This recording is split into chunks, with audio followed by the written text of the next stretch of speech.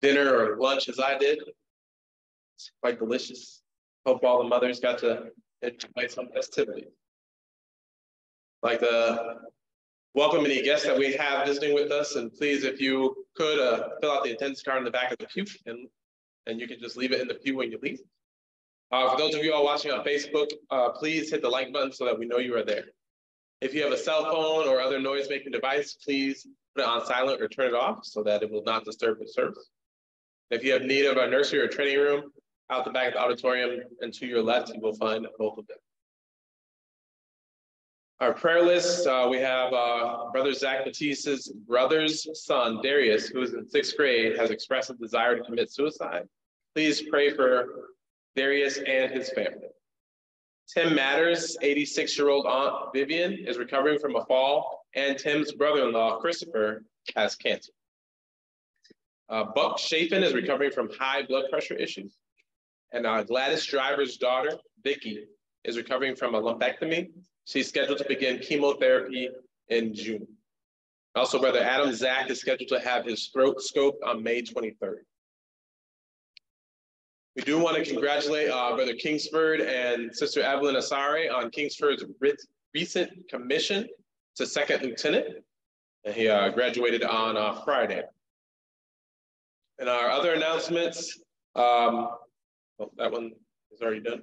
Um, if you need your picture taken, please see Brother Pettis or Sister Victoria, and we can set up a, a time to get that done in the library. There is going to be an important ladies' breakfast and work day on Saturday, May 20th at 8.30 a.m. in the fellowship hall. The ladies' day committees will be discussed, followed by a parsonage cleanup. We'll also discuss a June field trip to the Mayborn Planetarium and Space Theater. So please try to make it to all the systems. We have a youth Devo next Sunday, Sunday, May 21st, following evening worship in the fellowship hall. Please bring finger foods. And please put on your calendars, we will be having our 2023 summer gospel meeting, June 25th and June 28th. Our speaker will be Matthew Gibson, a gospel preacher and instructor at the Southwest School of Bible Studies in Austin, Texas. Also, if you are able to help uh, Brother Bill Rawlings with transportation to and from services um, sporadically as needed, please get with Brother Roger Dean. Are there any other announcements? Those serving this evening, Brother Lee Fisher will have our first prayer. Our song leader will be Brother Johnny Griffith. Our scripture reading will be Jonathan Smith, Brother Jonathan Smith. Our sermon will be by Brother Phil McIntosh. Our communion and offering will be by Brother Ivan McIntosh. And closing prayer will be by Brother Zach.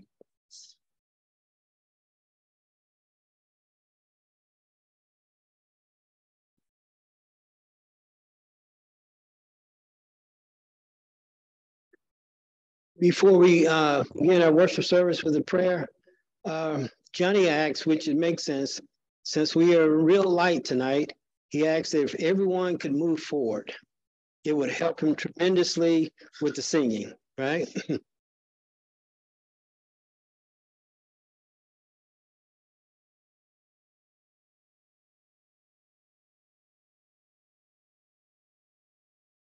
Thank you for doing that.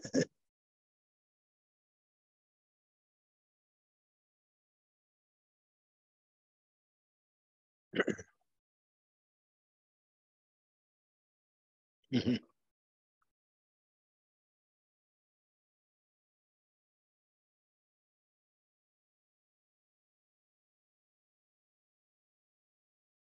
Now we look like we have a, a group of people here tonight. yeah.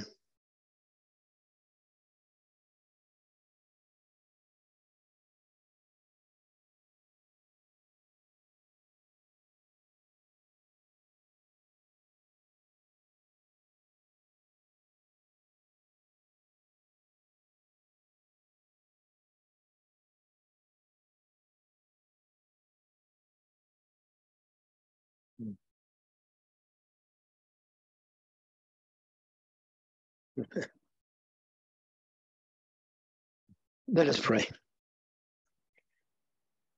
Heavenly Father, we again come before thee, so thankful for this opportunity you have given us once again to assemble together to worship thee in spirit and in truth.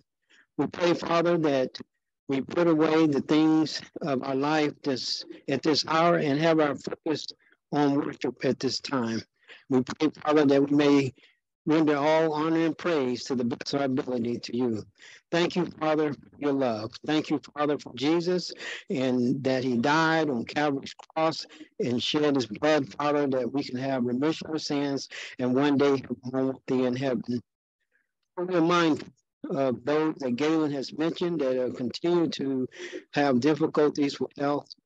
We ask, Father, healing. We ask that blessings to be with them and strengthen them in their bodies that they may be restored. But we also uh, are mindful of the congregation here at W.S. Young. We pray for us, Father, as, as a body. We ask, Father, that, that you may help us, Father, always in the things that we endeavor to do. Galen also has mentioned, Father, that we have a number of things coming up, a gospel meeting and various other things. And we realize, Father, that anything that we do, we cannot do it unless you're there with us. And we ask always for help. Continue to bless us, Father. Bless our families. Uh, help us, Father, as parents, to be able to always guide our children with your way. Help us, Father, to be able to impart to our children who are the next generation, Father, the scriptures concerning your word, Father, the one church, Father, and to be able to help that they may one day take their place, Father, in their families and teach their children the same. Thank you, Father, for the gospel. Thank you that is able to save many souls. Help us, Father, as uh, members here, Father, to be able to Tell others, Father, about Jesus. Tell others about the plan of salvation. Tell others about your saving grace. Now, Father, we are thankful for this day and we thankful we had opportunity to be with our families and celebrate Mother's Day. And again, Father, we are so thankful for our mothers and the love that they, they have shown us. Now, as we continue in our service this hour, be with us, Father, and forgive us of our sins. In Jesus' name we pray. Amen.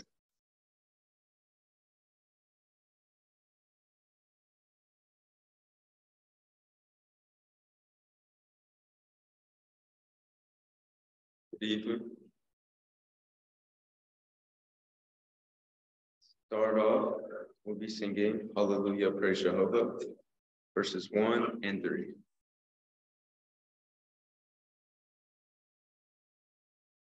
You ready? Let us sing. Hallelujah, praise God. From the praise his name. Praise Jehovah in God. All the angels. All the souls together. Praise stars on high. Praise the Lord, ye heaven above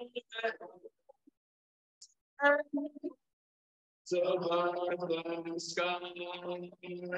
Let them precious spiritual His name of this heart and His glory is exalted, and His glory is exalted, and His glory is exalted. And sky, all ye fruit trees and cedars, all ye mountains high, creeping birds and the Kings of earth and all ye Princess render to song.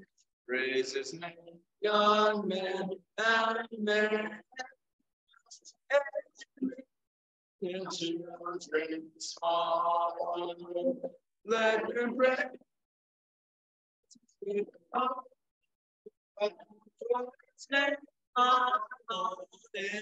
heart.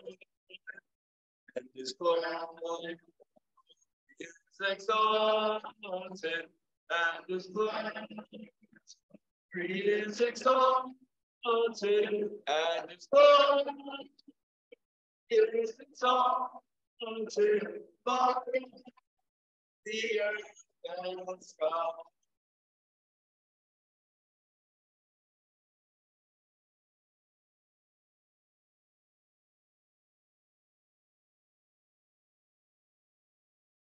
Good evening. I'll be reading from the book of Matthew, chapter 23, verses 25 to 28. How terrible it will be for you, scribes and Pharisees, you hypocrites! Clean the outside of the cup and the plate, but on the inside they are full of greed and self-indulgence. You blind Pharisee, first clean the inside of the cup, so that its outside may be clean. How terrible it will be for you, scribes and Pharisees, you hypocrites! You are like whitewashed tombs that look beautiful on the outside, but inside are full of dead people's bones and every kind of impurity. In the same way, on the outside, you look righteous to people, but inside, you are full of hypocrisy and lawlessness.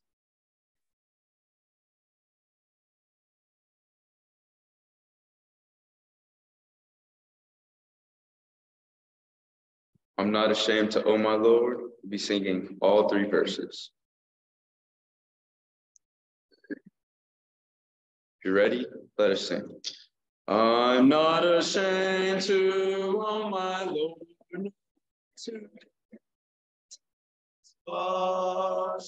maintain the honors of the glory of his cross.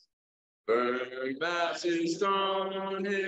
promises, and he can secure what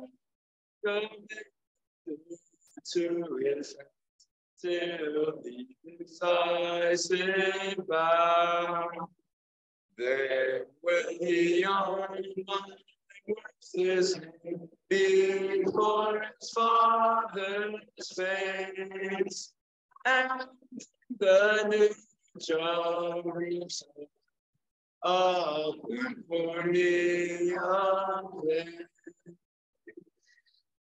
For our invitation song, we'll be singing 348, Jesus is sincerely calling.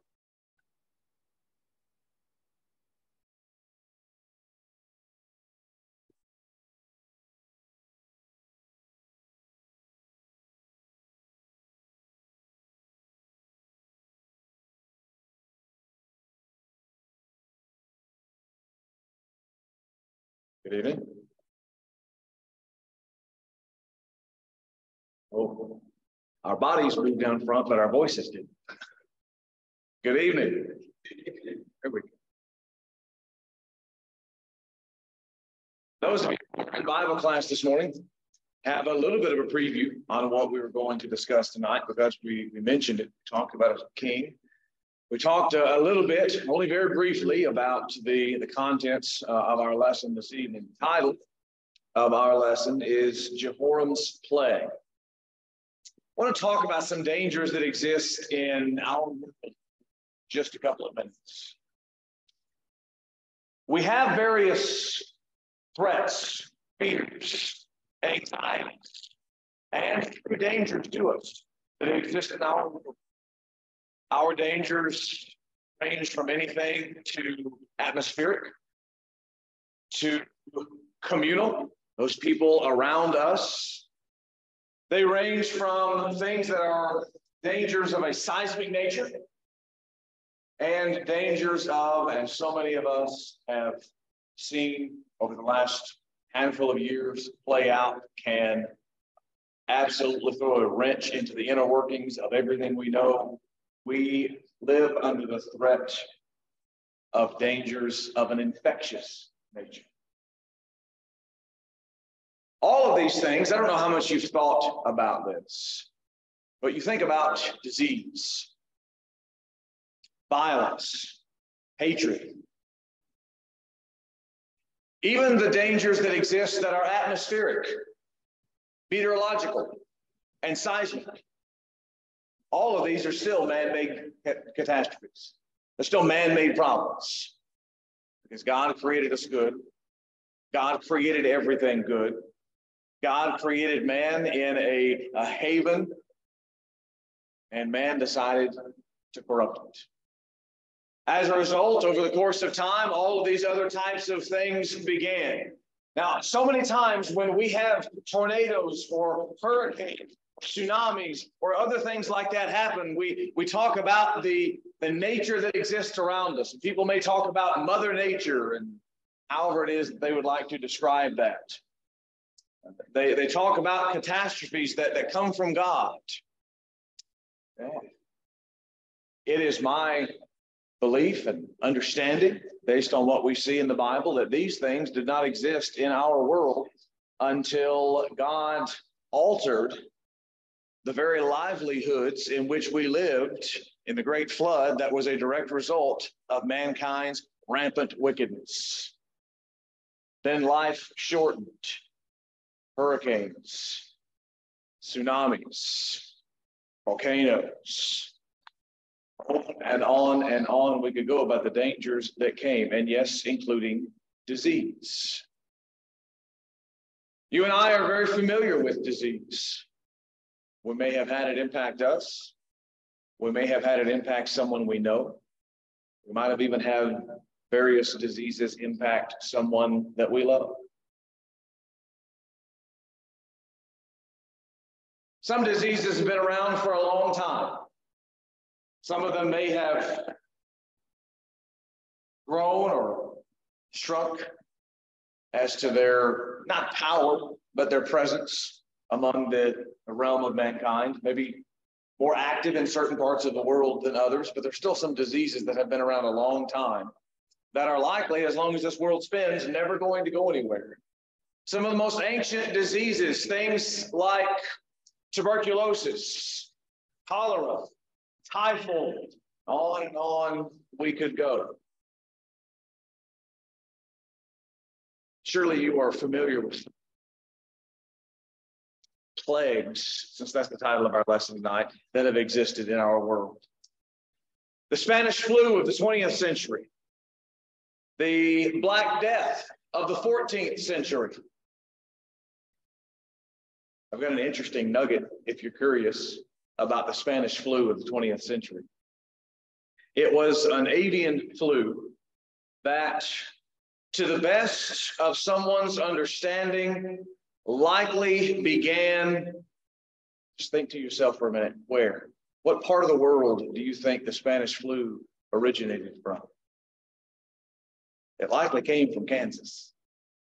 And we think Spain because it's the Spanish flu, but that's not really the history of the Spanish flu. But these things have plagued our world and have killed millions upon millions of people. Now, some of these diseases certainly are, are, are still in our presence today. Sometimes we still feel the effects of them. But if you could think about one of the diseases or infections or plagues that seems to affect people we know frequently, that seems to surround us in our world. Perhaps it is at a disproportionate rate, even in our country as compared to others. One of the most fear inspiring words in the lives in which you and I live in the scheme of the existence of mankind is cancer. We have seen so many people suffer because of cancer, lives cut short because of cancer, old men, old women, young boys, and young girls. Cancer is an equal opportunity aggressor. Some of, us, some of us have had closer looks at that than others. Some of us have had more intimate experience with cancer than others. That's not necessarily the topic for us to discuss tonight, but I wanted to begin with that because it is the belief, at least by some, I say some because of the, the place where I found this information, at least by one medical doctor, that there is a possibility of the existence of cancer talked about in the Bible. How old is it? It's believed that the first evidence of cancer in our world extends back to about 3000 BC. Now, cancer is something that is aggressive today. It seems like so many times people talk about things they have found out at their doctor, and they go for a biopsy and they get information that is negative to them. We we have some some aggressive treatments for cancer. Sometimes they are incredibly effective. Sometimes they're not. Sometimes it has progressed to a stage beyond correction. But cancer is not a, a new problem in our world. If it is accurate that cancer has its roots in history going back to 3000 BC, that means cancer has been in our world for over 5,000 years. So it certainly could be possible that the text we're going to look at tonight could include some points of what might lead us to a, a diagnosis of cancer. But let me make this clear. If the text we're going to read tonight is biblical evidence of cancer. If the individual we're going to read about tonight suffered from the effects of cancer, it still was not the worst thing in their life. Turn with me, if you would, in your Bibles to Second Chronicles chapter 21. We begin talking about the history these first three are all going to be something related to this king, and his name is Jehoram, if you're taking notes. J E H O R A M. First, we'll look at the history of Jehoram. It can be a little bit confusing, and if you're going to search online to try to find where in the Bible this individual is talked about, you need to exercise a little bit of caution because guess what? There's more than one Jehoram. And to make matters worse for our confusion, they existed at about the same time. One of them was king of Israel, one of them was king of Judah.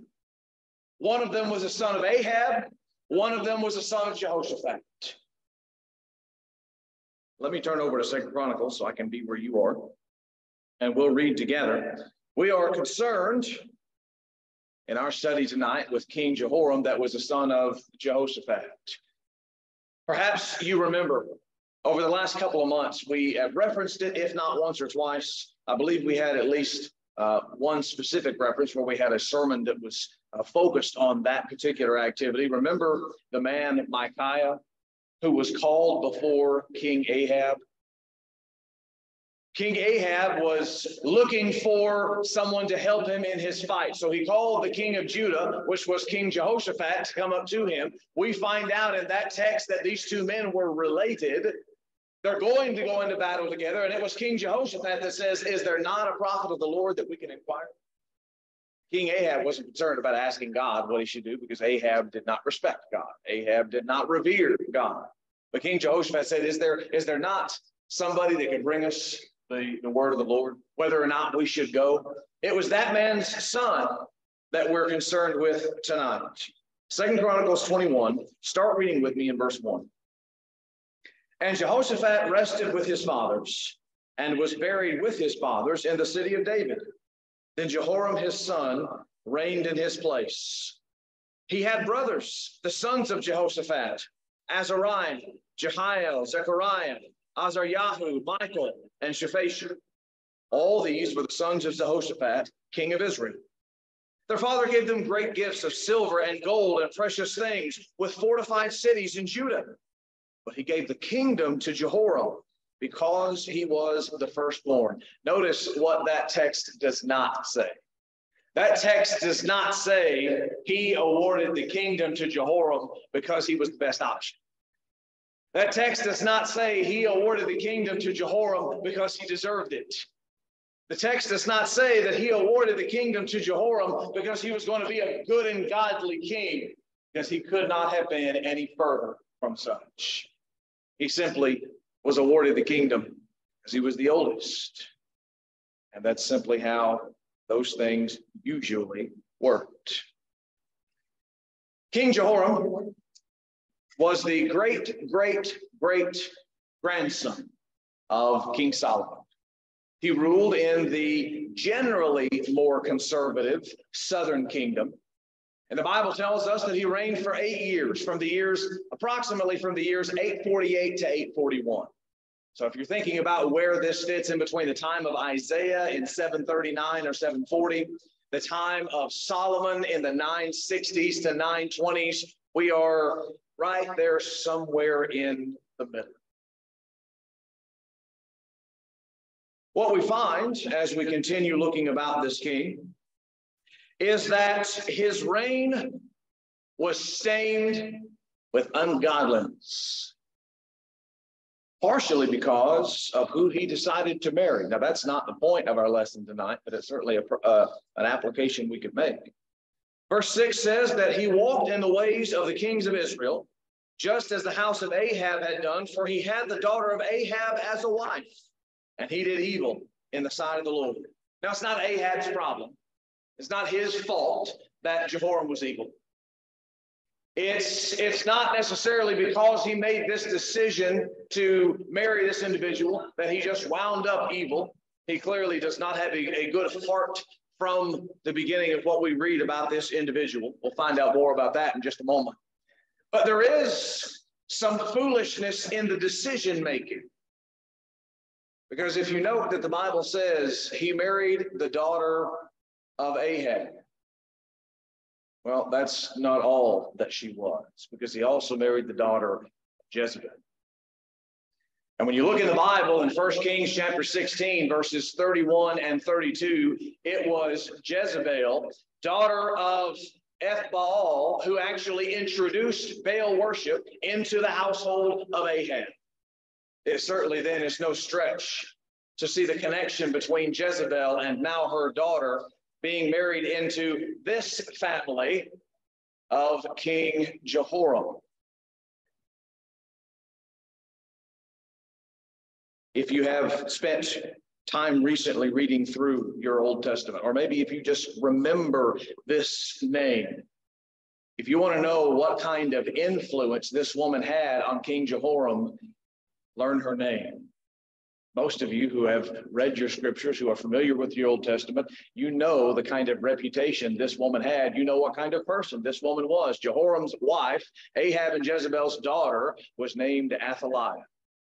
You do any kind of reading the Old Testament, you can see, you certainly know very quickly what kind of woman Jehoram had chosen for wife. Turn with me if you would. Let's sum up this first point talking about the history of King Jehoram by going back to the book of Second Kings and going to chapter number eight. Second Kings chapter number eight. When you get there, I want you to just read with me, starting in verse 16.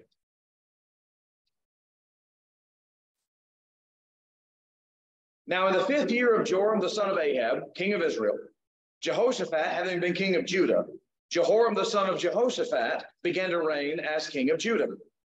He was 32 years old when he became king, and he reigned eight years in Jerusalem. And he walked in the way of the kings of Israel, just as the house of Ahab had done, for the daughter of Ahab was his wife, and he did evil in the sight of the Lord. Yet the Lord would not destroy Judah for the sake of his servant David, as he had promised to give a lamp to him and his sons forever. We'll come back and mention a little bit later what we see there in verse 19. Now, we've already read enough about his history to know that he was an ungodly king. We already have read enough about his history to know that he, he made unwise decisions, certainly affected by the wife of his choosing. Now, as I mentioned, this point of our lesson tonight is not to speak to those who are unmarried and tell them to be careful who they marry, but we can make 30 seconds of application to that if nobody minds. So many times in the past, people have talked about, well, I am a member of the church, and there's this person who's not a member of the church, and I love them, and I want to be with them, and, and I will convert them. And that is certainly a great goal to have. But more often than not, it happens the other way around. The non Christian deconverts. I know that's not that's, that's not a real word, but you know what I mean by that. The one who is a Christian, they leave the faith, and now you've got two non Christians. It is important the individuals that we choose to date. It is important the individuals with whom we choose to spend our time. And it can be, it can potentially be eternally damaging to marry someone, to hitch your wagon to someone for the rest of your life who has not hitched their wagon to God. It's just not a wise decision to make. Surely Athaliah had negatively affected King Jehoram. You would assume someone that was the son of Jehoshaphat might be a little bit more godly, but that's not the picture that the Bible paints of this king. It certainly did him no favors that he was married to the daughter of Ahab and Jezebel. So we progress on. If you want to go back to Second Chronicles chapter 21, we've talked a little bit about the history of King Jehoram. But we're not necessarily here for just his history. We're here for his sin and what happens beyond that. I told you that his reign was stained, stained, marred, corrupted, disfigured. Any words you want to use, and any strength of word you want to use is probably appropriate to use. Because he was a holy, W H O L L Y, ungodly person.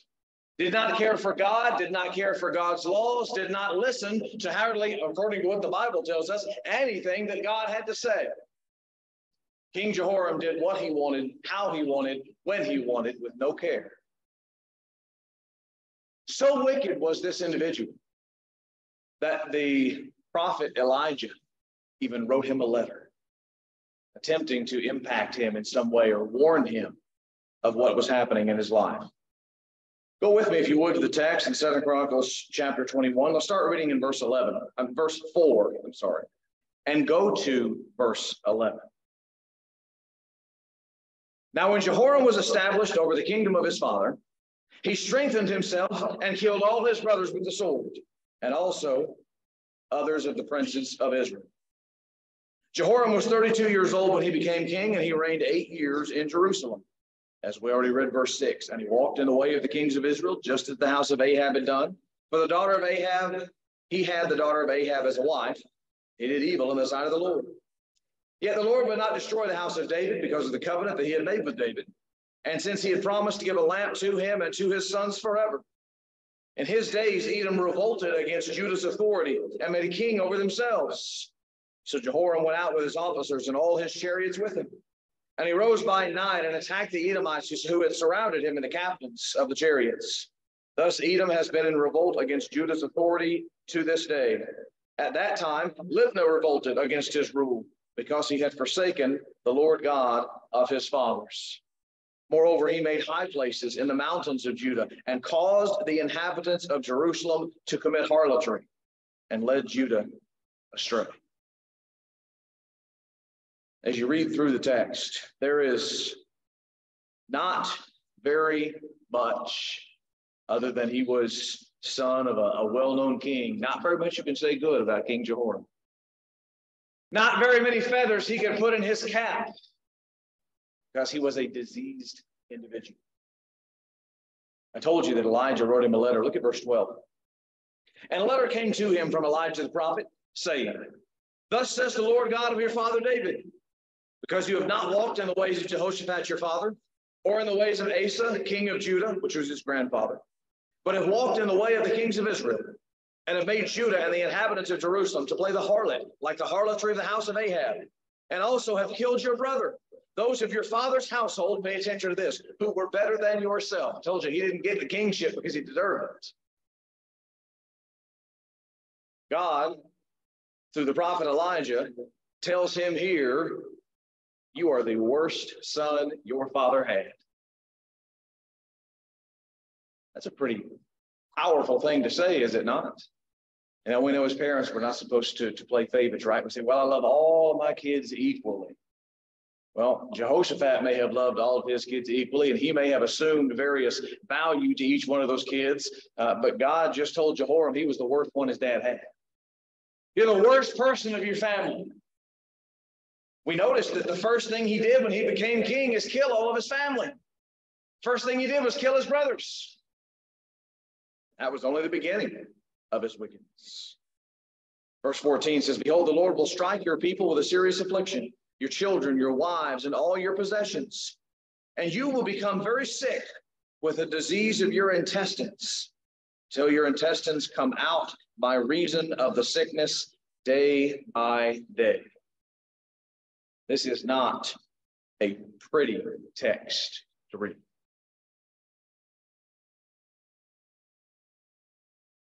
As you look at what happens, you look at all of the sin there that exists in King Jehoram's life. The murder, the loss of power because of his sinfulness, his building of high places, of, of offering worship to fake gods,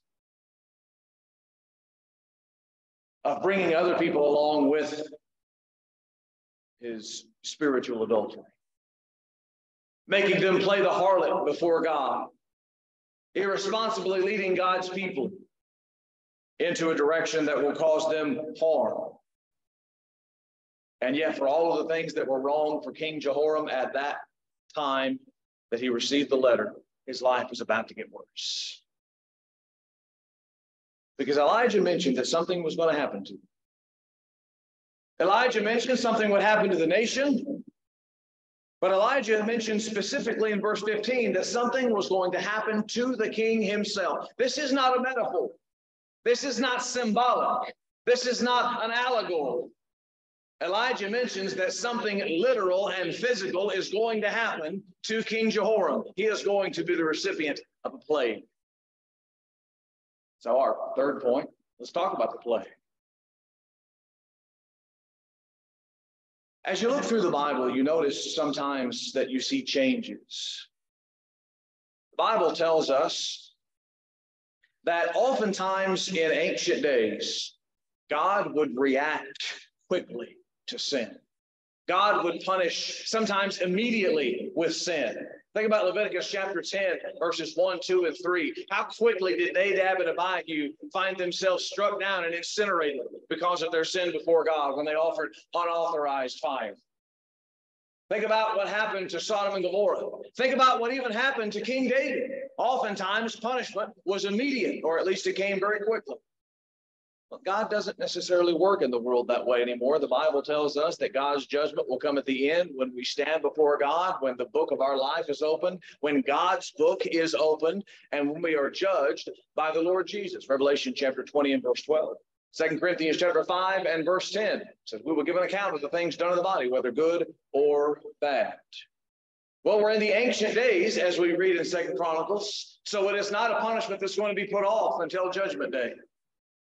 Oh, I'm sure that he will stand before God in judgment.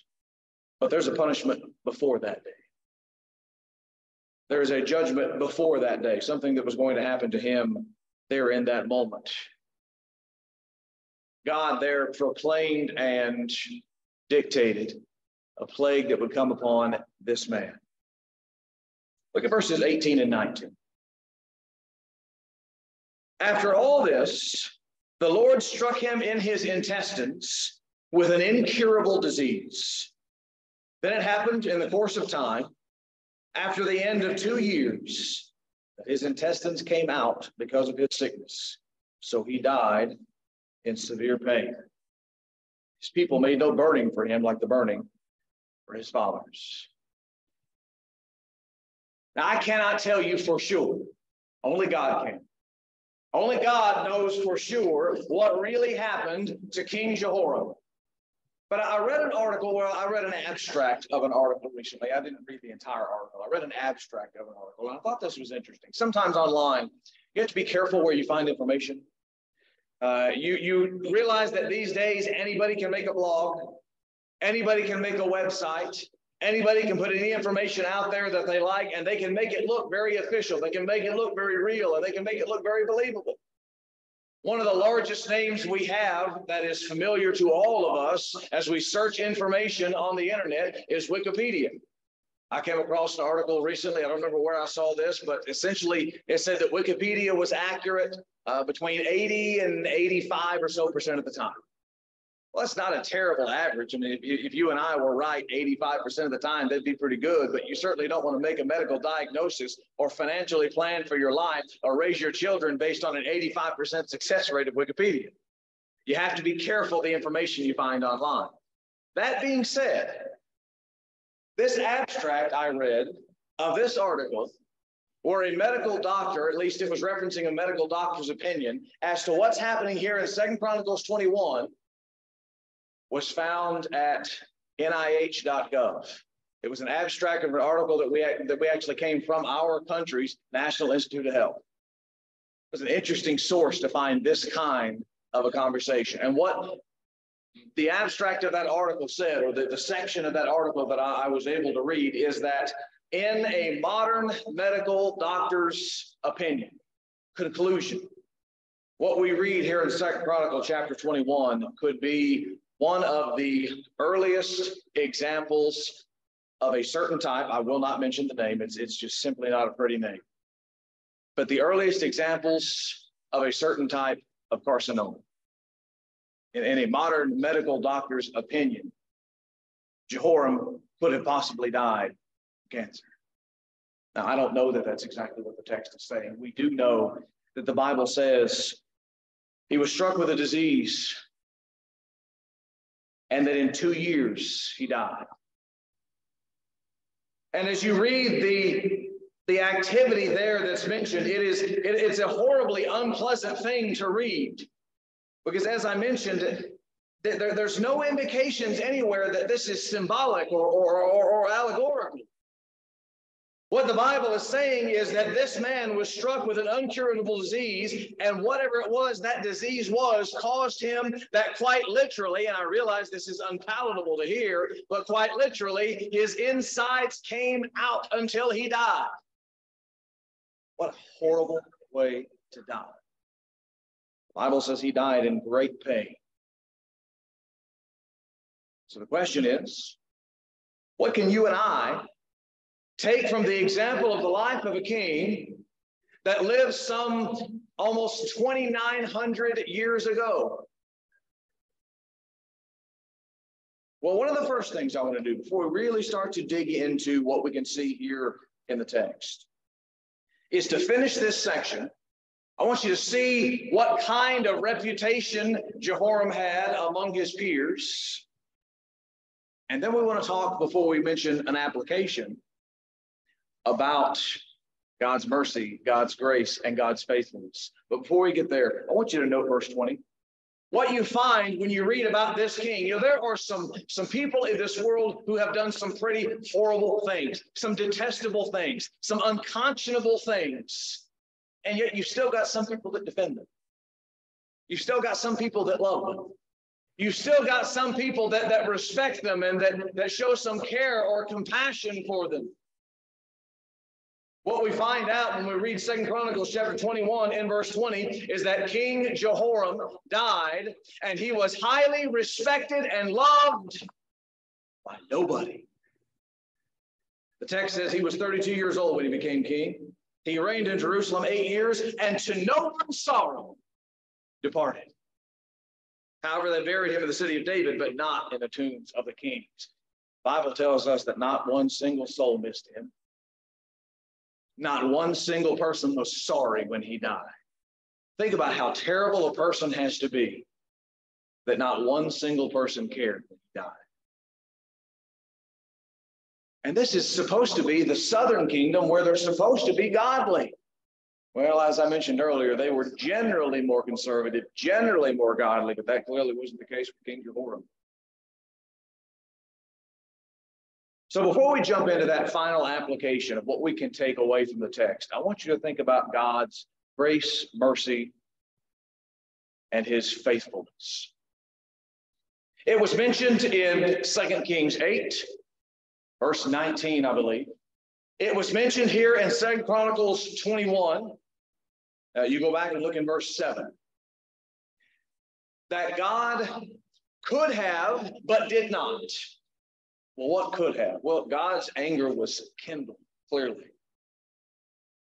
God was angry enough with Jehoram and how he was living and how he had led God's people astray that he afflicted him personally with a disease. But God did not take his fingers and snuff out that flame. God could have ended the line of David right then. God had every right because of man's sinfulness to stop that line right there. Remember what God told Moses a long time ago? God tells Moses, I can just get rid of them and I can start a new people. God has the power to do anything he wants. We saw what he did in the great flood, how that Noah and his wife and their three sons and their wives are the only people out of the hundreds of thousands or likely millions of people who populated the earth at that point, only eight survived. God could have snuffed out the flame of the candle of David. He could have cut that wick and made that family go dark, but he didn't do it.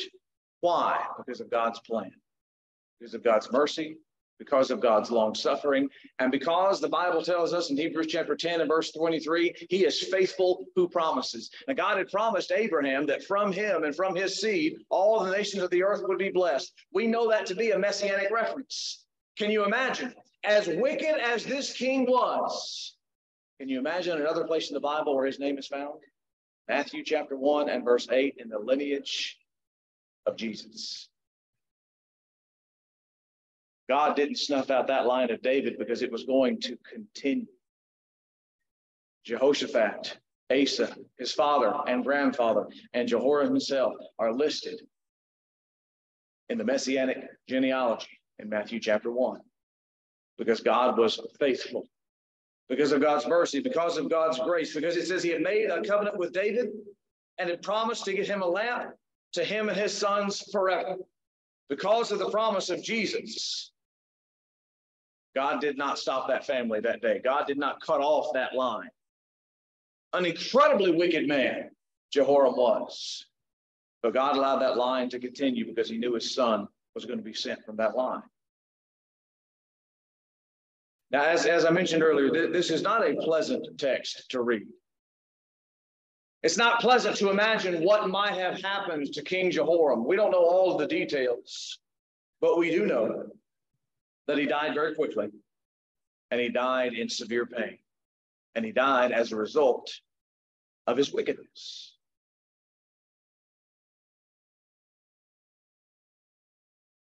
Here's the point, and I hope you've already got this. I hope you've already put two and two together. I hope you put two and two together a long time ago when you first heard the scripture read. Jehoram was an incredibly wicked man. He had not a shred of consideration for God. And so he was pronounced that he would receive a plague. But you know, that wasn't the worst plague that Jehoram had in his body. Jehoram was plagued, all right, but Jehoram was plagued before God plagued him. Jehoram was plagued because what was coming out, what kind of disease God had afflicted him with, was only a mirror of the heart that he had inside on him. Jehoram was already plagued because he had a, a dark, unkind, ungodly, wicked heart. So, as nasty as we see this text is and how this man died, it's only a reflection of who he was inside. It's a reflection of the kind of mind and heart that he had to begin with. I can't help but think about the words of Jesus. Turn with me to the book of Matthew. And we start in chapter 15. Just look at two references with me here in the book of Matthew. Matthew 15, beginning in verse 16. Jesus taught a parable. Peter asked him to explain it. So in verse 16, Jesus said, Are you also still without understanding? Do you not understand that whatever enters the mouth goes into the stomach and is eliminated? But those things which proceed out of the mouth come from the heart, and they defile a man. For out of the heart proceed evil thoughts, murders, adulteries, fornications, thefts, false witness, blasphemies. These are the things which defile a man. But to eat with unwashed hands does not defile a man. What we read of King Jehoram in Second Kings 8 and Second Chronicles 21 what defiled him was not the physical plague. What defiled him was the spiritual plague. What defiled him was how ungodly his heart was. What defiled him was how unrestrainedly wicked he was as a person. That was the true plague of King Jehoram. Now turn over with me to our scripture reading tonight, Matthew chapter 23. Matthew chapter 23, as Jesus stands there in the sight of all of those Pharisees who had so frequently chastised him and chased him. And he gives them pronouncement as he looks beyond what a normal man can see, as Jesus peers not at their outside, but at their inside. Look at verse 25. What are you, scribes and Pharisees, hypocrites? For you cleanse the outside of the cup and dish, but inside they are full of extortion and self indulgence. Blind Pharisee, first cleanse the inside of the cup and dish, that the outside of them may be clean also. Woe to you, scribes and Pharisees, hypocrites, for you are like whitewashed tombs, which indeed appear beautiful outwardly, but inside are full of dead men's bones and all uncleanness. Even so, you also outwardly appear righteous to men, but inside you are full of hypocrisy and lawlessness.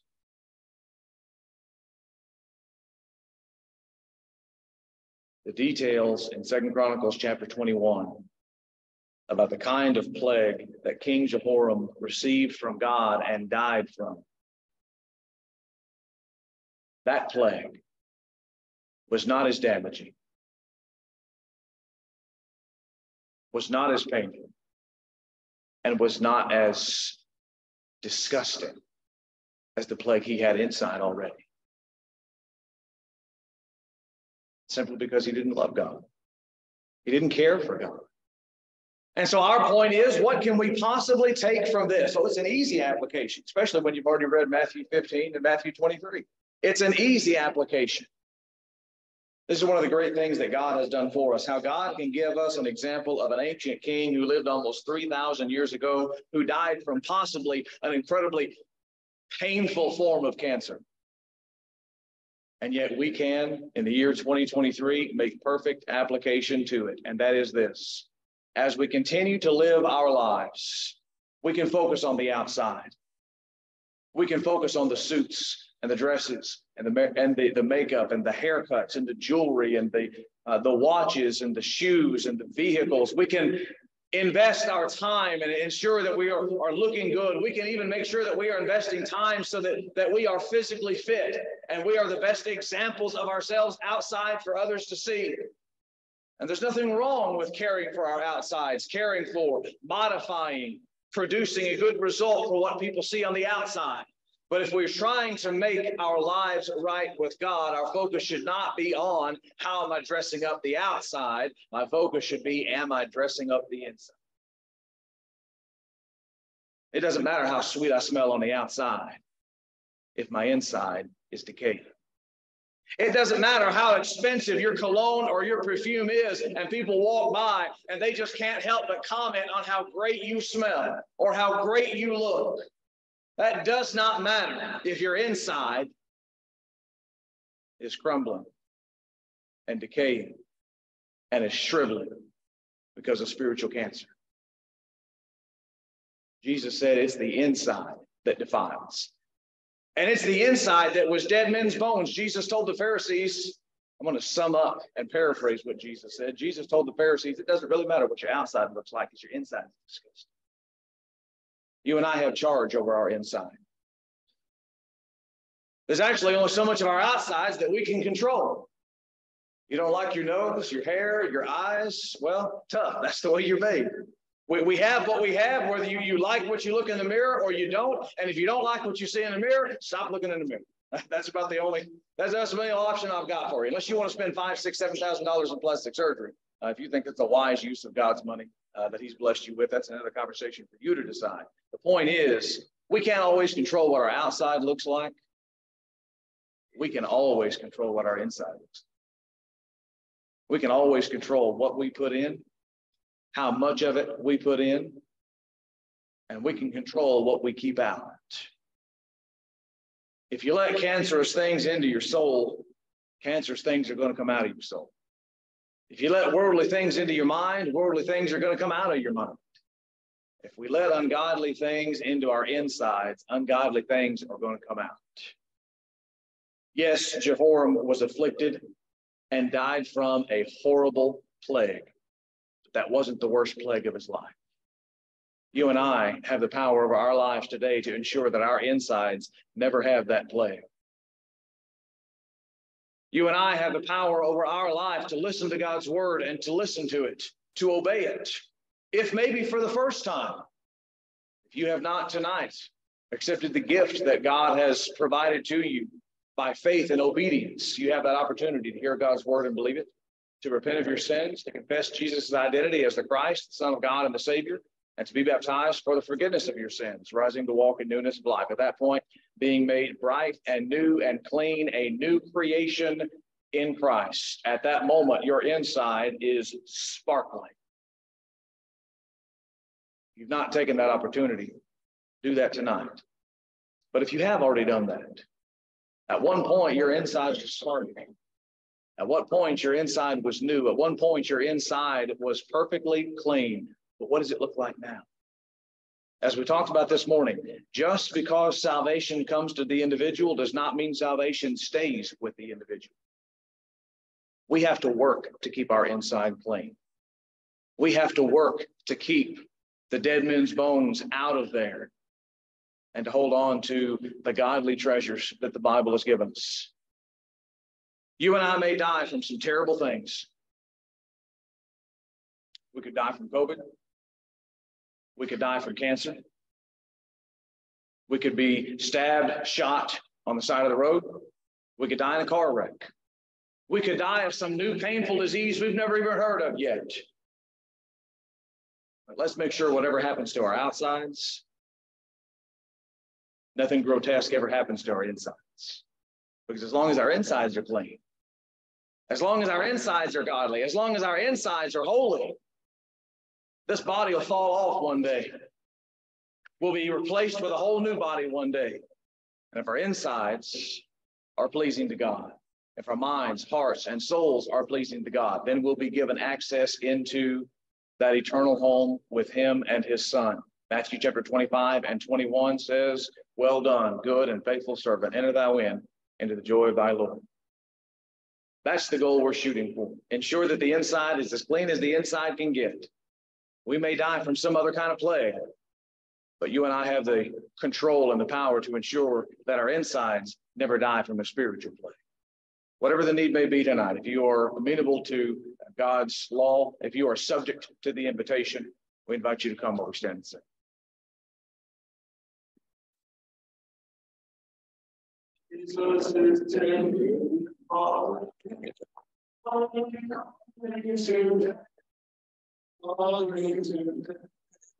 Why from the sunshine of love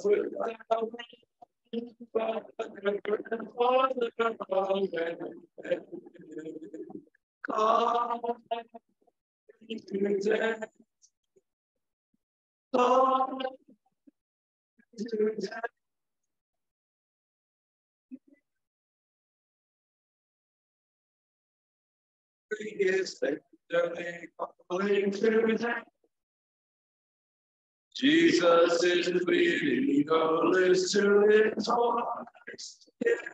To then you believe on this rejoice. Quickly arise and away. Come into death.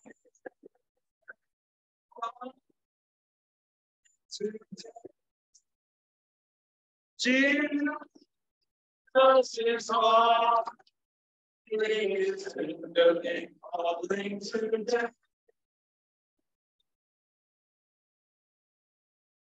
Prepare our minds for communion, singing, oft we come together. Three, sixteen.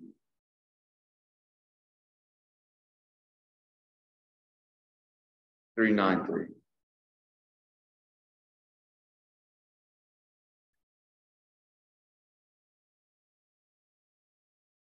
Be singing all three verses. You're right. Let us sing. Oft we come together. Oft we sing and pray. Here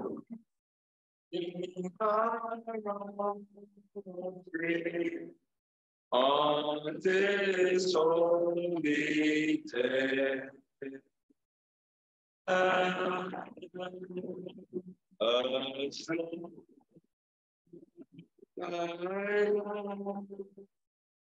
To see all is true.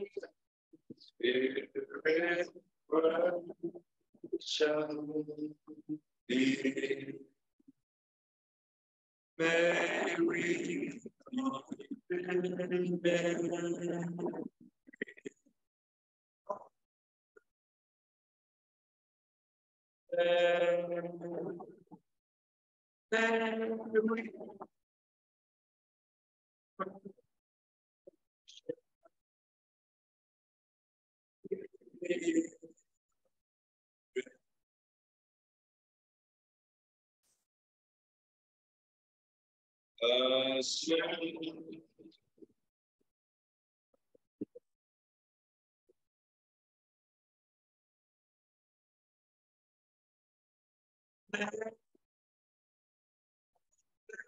thy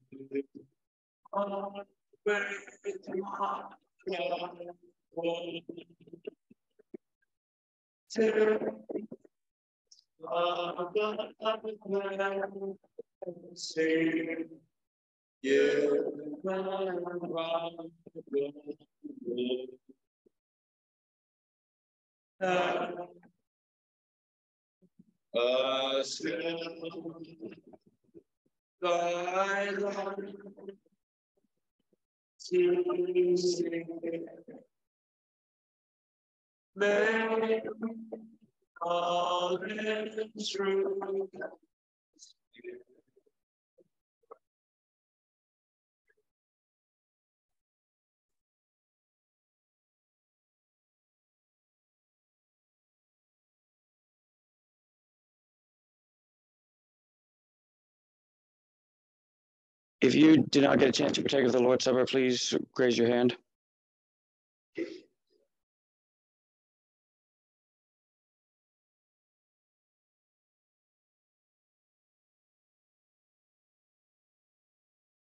Let us pray. Dear Lord, we come to your presence this evening once again. And then we're coming to give a token of what you have blessed with us. Father Lord, we pray that may this offering be acceptable unto you. And then may you continue to guide us and provide for us so that we will continue to come here to be able to give into your glory and your kingdom. In Jesus' name we pray. Amen. Thank you. In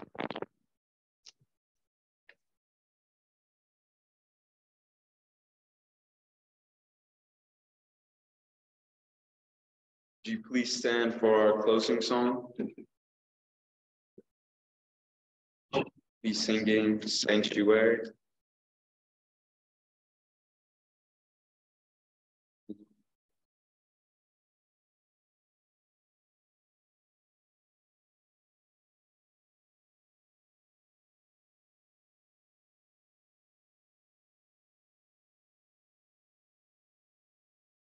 Let us sing.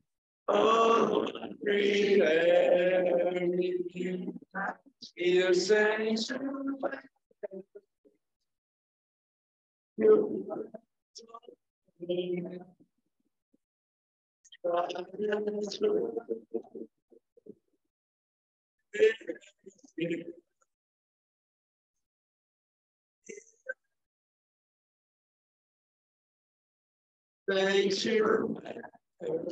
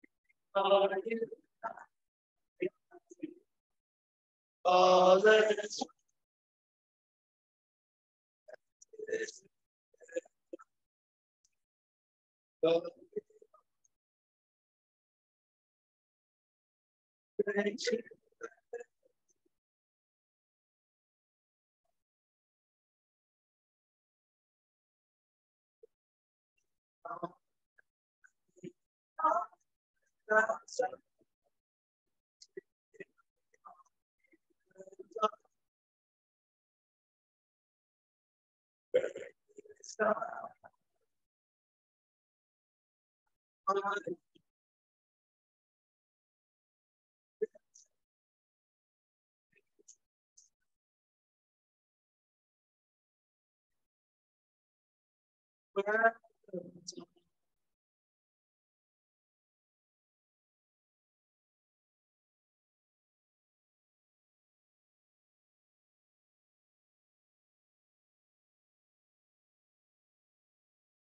pray. Our Father in heaven, we are thankful and that you gave us the ability and the strength to come and assemble ourselves to worship you in spirit and in truth. We pray, Father, that our came for the right reason. We pray we didn't come for a show nor an act. The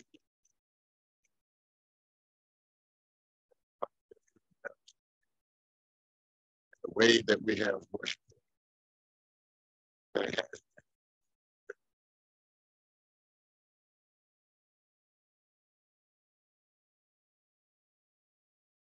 On the likeness of our heart.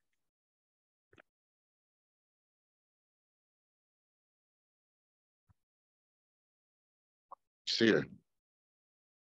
But we believe those things to come and worship. We will pray, Father, for those that neglect, that don't have a desire. Lord, that their minds may be changed. That which is an error to that which is right. And thank you, Father, for that it presented unto us. That we was able and we prayed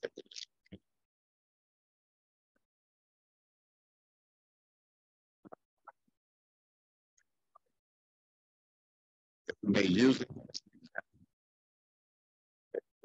thing within our lives, Father. It's displeasing.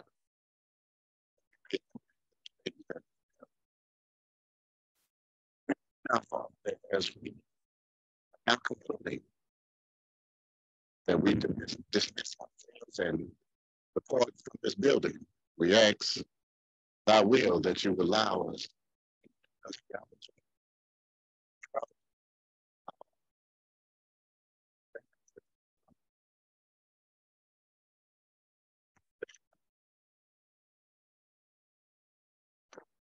vice president and those that are leading positions to pray for the bodies of Christ.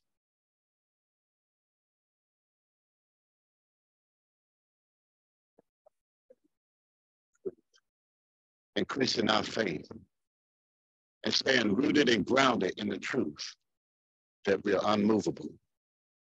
To be an example unto this world, sitting up on the hill. We pray, Father, that you will please this congregation.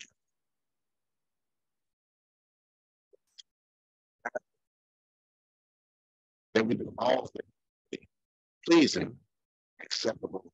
Thank you again, Father. We ask, Father, in thy Son, Jesus Christ's name, whom we love. Amen.